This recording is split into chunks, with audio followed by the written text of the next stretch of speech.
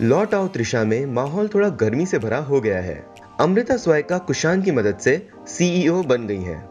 और कुशान के ही कहने पर अमृता ने सोनाली को जॉइंट एमडी बना दिया है। अमृता और एसीपी कबीर ये जानना चाहते हैं कि उनका ये शुभचिंतक कौन है। और लावण्या को इस बात पे शक हो गया है कि कुशान पागल नहीं है।